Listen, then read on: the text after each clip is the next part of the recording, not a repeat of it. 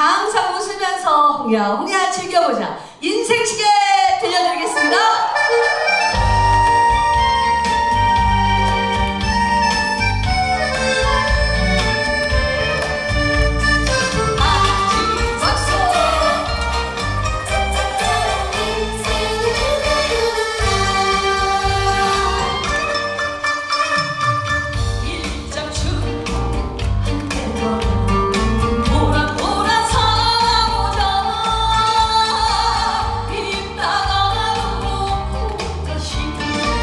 hearts